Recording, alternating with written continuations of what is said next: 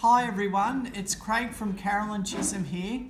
Today we're going to be doing a writing activity using Play-Doh, sheet of white paper and a texta. Now, first of all, I'm going to write my name on the white sheet of paper and you can get mum or dad to do this for you to write your name. C R A I No. and G.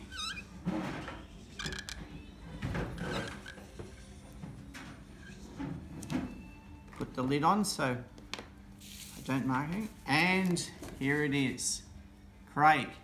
And I've left a space here for some decoration. First of all, I got to choose a colour. I think I might use yellow. So, pull it out. Now, first of all, we've got to roll our Play-Doh into a little log form.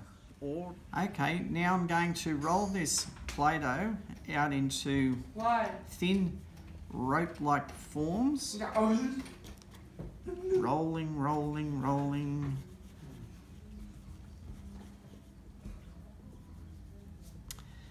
And that should do it.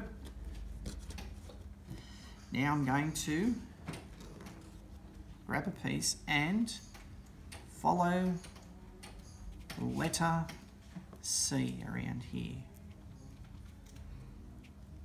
And stretch it a bit more until we've covered the black texture.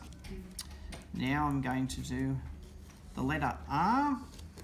So I'm going to ah. make a long straight bit. Like that. And a little curved bit like that. I need some more Play-Doh, so I think I might use the green this time.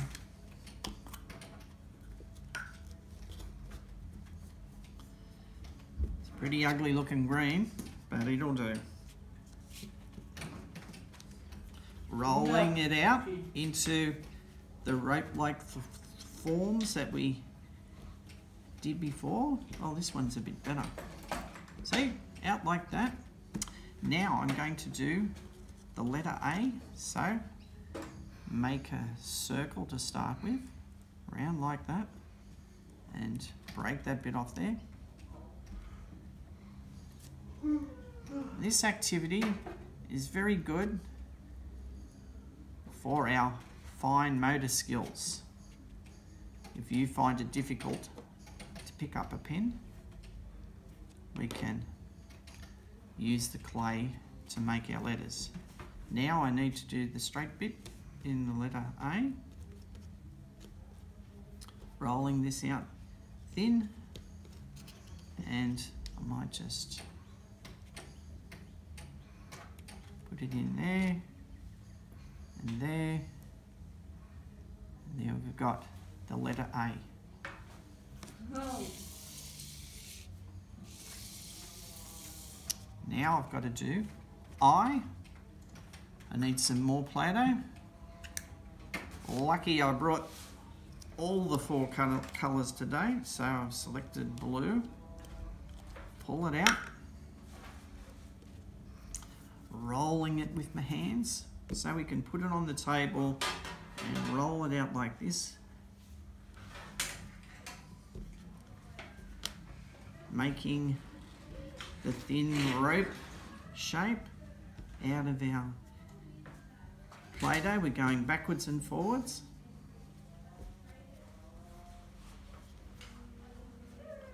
There we are. That's looking pretty good. Now, we want to do I. Straight bit and a dot. So, I'm going to measure it here. That should do it. Cover the I and a little bit on the end for the dot. One letter to go. Lucky last. I'm going to do the circle again for the letter G. And then this big hook shape. Got to get some more Play-Doh out and roll that rope shape backwards and forwards, rolling, rolling, rolling. As long as I can get it. That looks pretty good, like No. this. And then bring it around like that. Yeah. And look at that, perfect. And therefore, I have made my name out of Play-Doh. C R A I G, Craig. Now, I'd like you to do your name. Bye.